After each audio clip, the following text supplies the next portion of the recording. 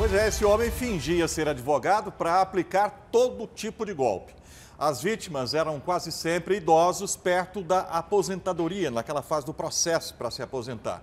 Com os documentos dessas pessoas, ele abria contas em bancos, sacava dinheiro e emitia cheque sem fundo. O calote passa de um milhão de reais. E na hora da prisão, a polícia encontrou um verdadeiro arsenal na casa do falso advogado. Armas pesadas como fuzil, metralhadora e até uma granada. Alisson Bezerra Santos, de 41 anos, foi preso preventivamente pelos crimes de falsidade ideológica e estelionato contra idosos. O prejuízo das vítimas pode chegar a um milhão de reais. Segundo as investigações, Alisson fingia ser advogado para atender pessoas humildes que buscavam se aposentar. Assim, ele abria contas bancárias e desviava o dinheiro das vítimas. Em um dos casos, usava cheque dessas contas para dar golpes em terceiros, que recebiam os documentos com assinatura falsa e sem fundos. Se referiam a cheques que estavam é, em contas bancárias em nome de uma mãe e de uma filha.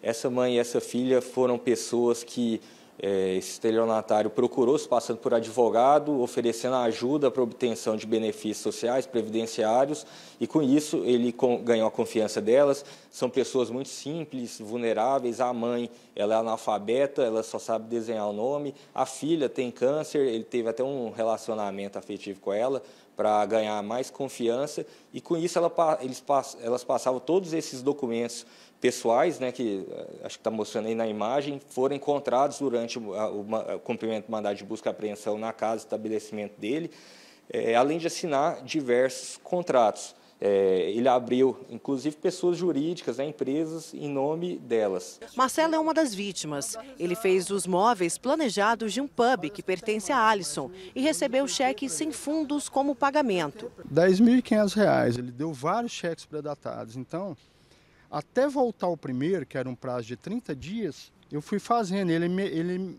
me pressionava para entregar rápido, porque ele precisava inaugurar o pub. Mas na verdade ele queria que eu entregasse rápido por, com medo de voltar o primeiro cheque, né?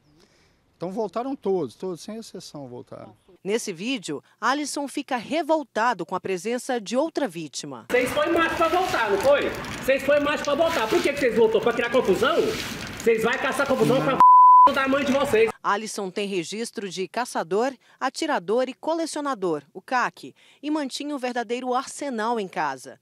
Entre fuzil, pistola e metralhadora, havia também munição, granada e gás lacrimogênio, além de uma caminhonete e moto, avaliados em 180 mil reais. Ele responde ali crimes contra a honra, ameaça, e, e ele conseguiu ali se habilitar como CAC, né, atirador perante o Exército, e ele comprou muitas armas, a gente deve ter a imagem aí, a gente apreendeu essas armas, né, fuzis, é, muitas munições na, na, casa dele e as pessoas que iam cobrá-los né, desse, desse, não recebimento, ele constrangia essas pessoas é, apontando essas armas de fogo. Né? Então a gente apreendeu elas, é, todas elas estavam armazenadas ali em condições é, irregulares, não tinha cofre nem nada, e a gente está até vendo com o Exército a, a situação administrativa atual em relação a essas armas. A OAB alerta a população a se certificar se o profissional é realmente habilitado. Quando você vai contratar um advogado, é de extrema importância que qualquer pessoa